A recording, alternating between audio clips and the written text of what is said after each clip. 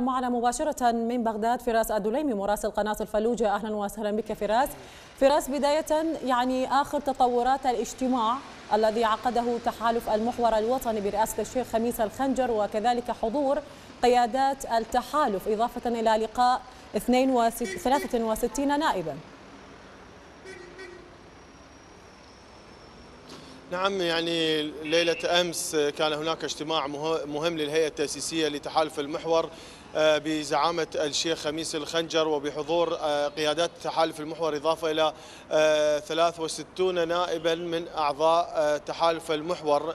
وتم التباحث حقيقة حول مجمل العملية السياسية لا سيما الكابينة الوزارية. وأكد الشيخ خميس الخنجر في هذا الاجتماع على ضرورة الالتزام بالتوقيتات الدستورية من أجل تشكيل الحكومة المقبلة وأيضا يجب أن يتم اختيار الكابينة الوزارية على أسس وطنية.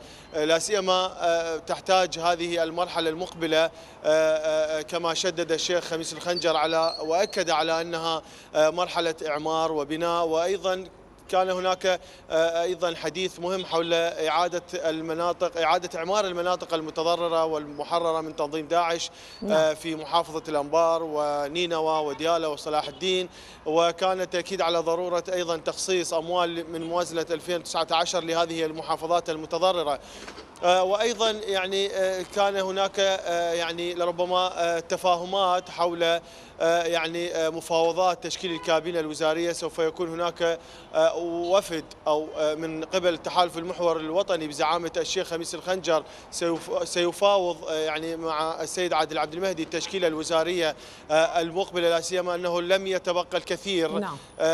أمام السيد عادل عبد المهدي لإعلان كابينته الوزارية ويعني كان هذا نعم. الاجتماع طيب. مهم جدا في هذه الأيام يعني قبيل يعني إعلان تشكيله الوزارية نعم طيب فراس يعني هذا الاجتماع أيضا تطرق إلى أهمية تشكيل أو تقديم الكابينة الوزارية للسيد عادل عبد المهدي إضافة إلى عدة لقاءات ربما تشهدها بغداد خلال الساعات القليلة الماضية.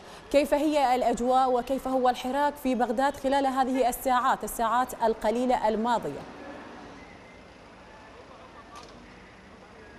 يعني حقيقة يبدو أن خلال هذه الساعات الماضية بدأ الحراك الفعلي من أجل التفاوض حول تشكيل الكابينة الوزارية.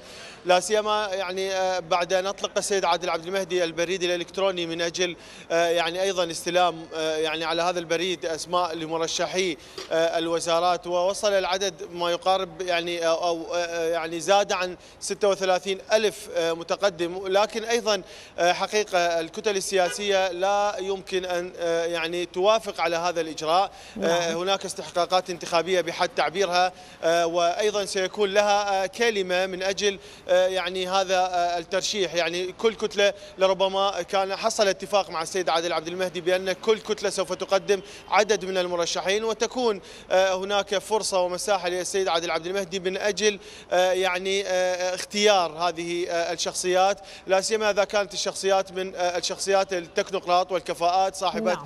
الاختصاص الاشخاص يعني هذا ما تم التأكيد عليه بأن هذه المرحلة وهذه الكابينة الوزارية ستكون من أصحاب الشهادات ومن نعم. أصحاب الاختصاص آه، لكل وزارة من أجل يعني آه، الارتقاء بالواقع نعم. العراقي بجميع مفاصله اذا نعم. الزميل فراس أدوليمي كنت معنا مباشرة من بغداد شكرا جزيلا لك